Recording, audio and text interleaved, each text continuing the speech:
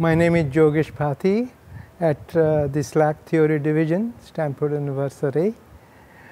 Um, uh, to express my opinion, ILC is something which we really need to probe into fundamental aspects of nature in ways that would complement the findings of LHC.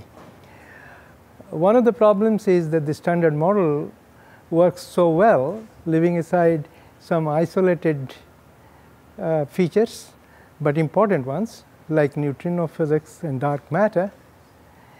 But we, we know there exists new physics beyond the standard model because there are many aspects of the standard model including the Higgs mass which need to be understood in a natural way.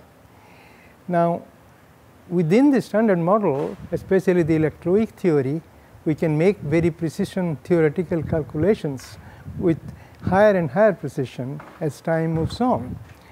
We need experiments to test these predictions and any deviation would show or provide us the clue to new physics.